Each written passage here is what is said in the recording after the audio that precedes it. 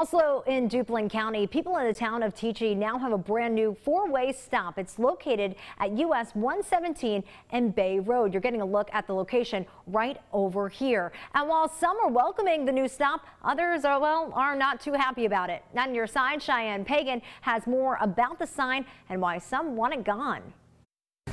When NCDOT put the stop sign up, no one could have predicted the response it would get in such a small town. Some people in Teachey are upset. There's, there's no reason for there to be a four-way stop right there. But mostly are just confused about why there's a brand new stop sign at an intersection that they believe doesn't need one. Some residents even started a Facebook group and a petition to get it taken down. There's a lot of traffic on 117 between Wallace and Rose Hill, and to, stop it all of a sudden and uh, without any reason, it's, it's, a high volume of traffic. It's, it's going to create a problem.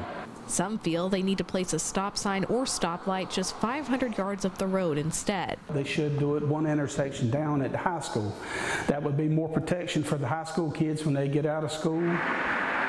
When it comes to possibly adding something to the intersection near the school, NCDOT says they are reviewing that location too. But for now, the signs are up at 117 and Bay Road. And NCDOT says the intersection was identified to benefit from the addition of the all-way stop. We looked at 10 years of history, and that was in 10 years, that was 21 crashes, so it's about two a year. And in the past year, there's only been one crash. I think there's like a 70, 77% reduction in fatal and injury crashes when these are installed. For more information about the Facebook group against the four-way stop, head on over to our website at WNCT.com. In our Jacksonville studio, Cheyenne Pagan Night on your side.